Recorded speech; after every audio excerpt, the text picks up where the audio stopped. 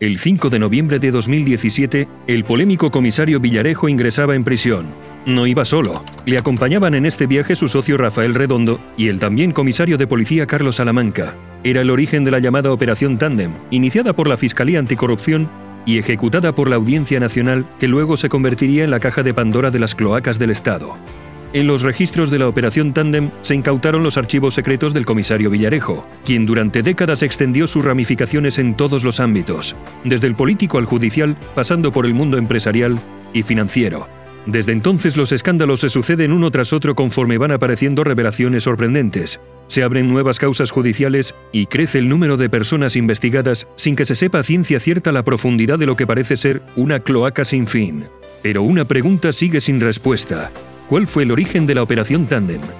A pesar de que Villarejo era un personaje polémico con varios frentes abiertos, su detención cogió por sorpresa incluso a aquellos que seguían de cerca las andanzas del comisario. Una detención sin relación con ninguna otra causa judicial ni con nada conocido con anterioridad.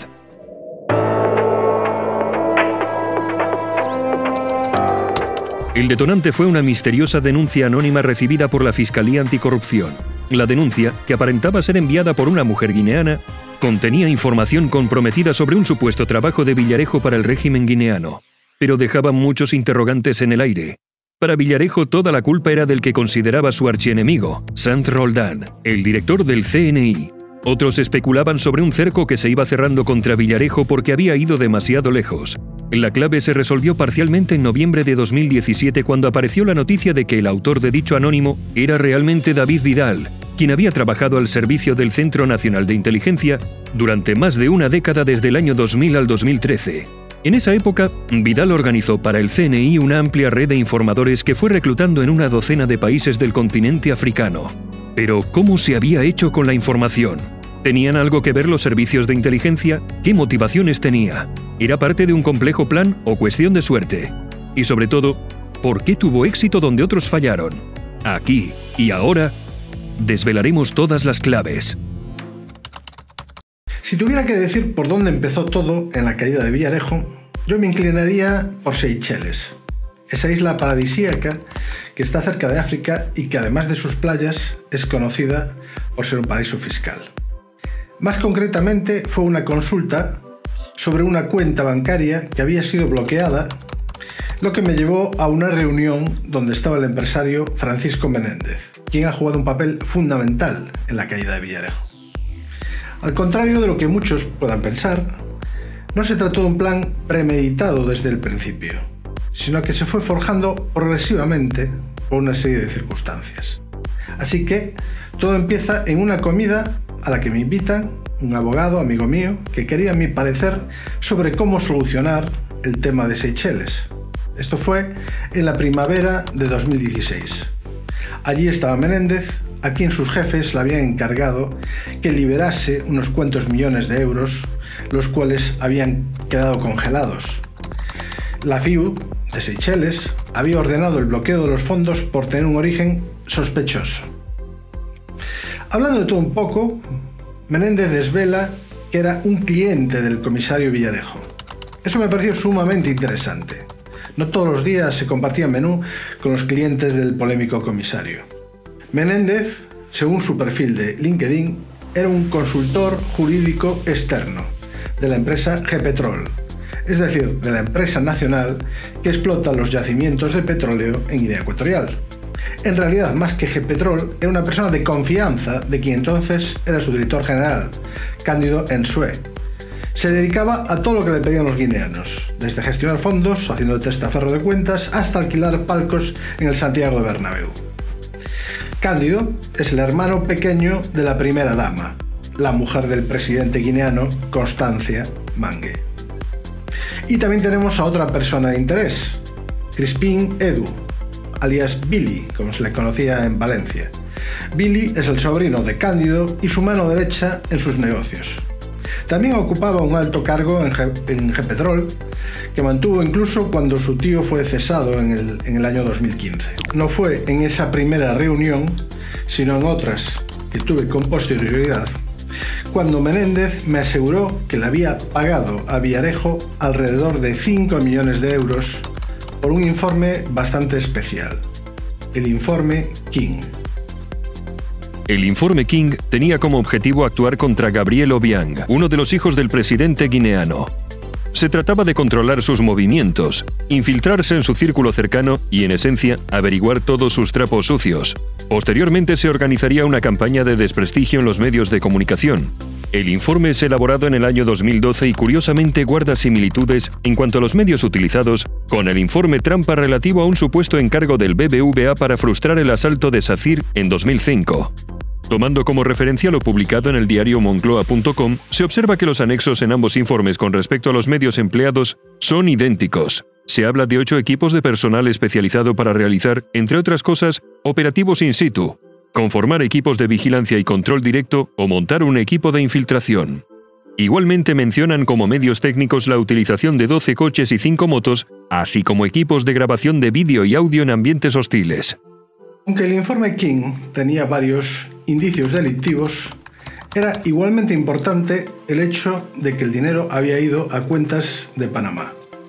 No hacía falta tener experiencia en trabajos de inteligencia para darme cuenta de que aquella información era potencialmente valiosa. Lo mejor de todo es que Menéndez no parecía tener problemas en compartir conmigo la información. Algún roce había sucedido entre ellos. Así que me pareció una buena idea pedirle a Menéndez que me proporcionase algunos documentos sobre los pagos enviados a Panamá, con el propósito de hacer llegar la información a la policía. Les podría ser útil conocer las cuentas secretas donde, supuestamente, Villarejo cobraba sus trabajos más inconfesables. Menéndez me puso una sola condición. Él no quería verse implicado de ninguna manera en este asunto. A Villarejo le tenía pavor. Así que, examinando las fotocopias de las transferencias, preparé una pequeña lista que contenía tres empresas panameñas y cinco cuentas bancarias. La inteligencia se obtiene de múltiples fuentes, siendo las más comunes las conocidas como fuentes abiertas como los medios de comunicación, las redes sociales y un largo etcétera a las que todo el mundo puede acceder. Pero son las fuentes humanas las que ofrecen información imposible de adquirir por otros medios. La fuente humana necesita motivación para dar la información, la cual suele ser una contraprestación económica. Pero el dinero es un motivo de corto recorrido. La convicción ideológica es más duradera, aunque mantenerla puede resultar difícil. El amor o el sexo es un buen enganche, pero tampoco es permanente. Las motivaciones más duraderas, más intensas y que proporcionan los mejores resultados son siempre el odio y la venganza. En aquel momento yo no sabía mucho de Villarejo más allá de lo que sabría cualquier persona que leyese los periódicos. Estuve hablando con algún que otro contacto policial y la conclusión a la que llegué es que el comisario era brillante, policía brillante, que se había pasado al lado oscuro y descubrió que se puede hacer mucho dinero en la empresa privada tomando atajos. Pero eso sí, era intocable. Cierto que aparecían informaciones periodísticas muy negativas, hablando sobre un entramado de empresas, un gente patrimonio, pero todo demasiado nebuloso y de guante blanco para que cualquier información llegase a judicializarse. Estaba también el caso de la doctora Pinto, pero francamente me costaba trabajo imaginarme al comisario pegando puñaladas en un portal, todo puede ser. Aunque la faceta de la relación de David Vidal con el Centro Nacional de Inteligencia entre los años 2000 y 2013 es públicamente conocida, lo que se ha mantenido con mayor discreción es su relación con la Policía Nacional. Esto se debe a que David seguía colaborando con la Comisaría General de Extranjería hasta diciembre de 2016. A pesar de que en la primavera de 2016 todavía trabajaba para extranjería, decidí no decirles nada del asunto de Villarejo. Llevar la información a quien no la puede explotar es la senda hacia el fracaso. Además, el por entonces comisario general de extranjería, Emilio Baos, se iba a jubilar pronto y no le iba a llevar este marrón. Emilio fue el responsable de diseñar un programa de inteligencia para conocer lo que ocurre más allá de las fronteras en el año 2002 y al que agradezco su confianza en mis servicios. En su lugar, hablé con una inspectora jefe en la que podía confiar y que era muy próxima a un comisario general más acorde a estos temas, aunque mejor no dar detalles. Quedamos en un bar próximo a la comisaría de Canillas al que acuden los policías a diario. Le pasé la lista de empresas y cuentas panameñas y recuerdo que me soltó un breve discurso sobre lo desafortunado que era tener ovejas descarriadas en la policía. En fin, yo solo quería darle la información y él que hiciese lo que considerase oportuno. Que no fue nada. Una cosa que aprendí en el mundillo de la inteligencia es que nunca hay que decir todo lo que se sabe en la primera reunión. Si interesa, ya llamarán pidiendo más. Si no, sayonara. Así se evita el enseñar todas las cartas. Como se puede imaginar, nunca más volví a saber del comisario. Francamente, no creo que fuese negligencia. Simplemente le habían ordenado, como muchos otros, desde las más altas instancias, que no iniciase ningún tipo de investigación. El 7 de diciembre de 2016 sucede algo inesperado. Las tres empresas panameñas implicadas en la trama son disueltas de forma simultánea. Quedaba claro que quien estuviera detrás de ellas estaba deshaciendo el entramado societario y los indicios se difuminaban.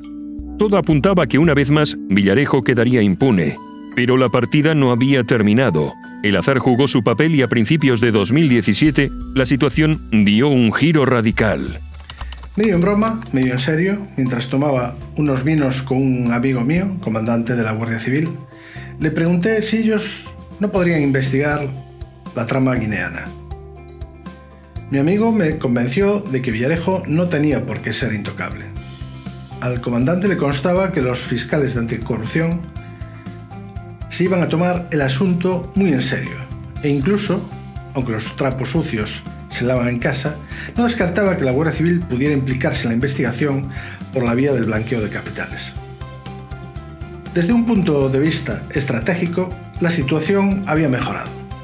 Villarejo ya se había jubilado. Su protector, Eugenio Pino, también. El ministro de Interior había cambiado. Yo ya no mantenía la relación con la Comisaría General de Extranjería desde finales de año. Esto último me afectaba por la implicación del también comisario Carlos Salamanca, otra de las piezas del puzzle, que entonces era comisario jefe de la UCRIF. Así que a mi amigo le dije que adelante, pero no prometía ser tarea fácil, y no lo fue. No se pierda el próximo episodio donde se desvelarán nuevas claves inéditas sobre el informe de los 5 millones, la trama guineana, la campaña de desprestigio y la visita a la Fiscalía Anticorrupción. Suscríbete a nuestro canal de YouTube para estar informado sobre aplicaciones prácticas de la inteligencia.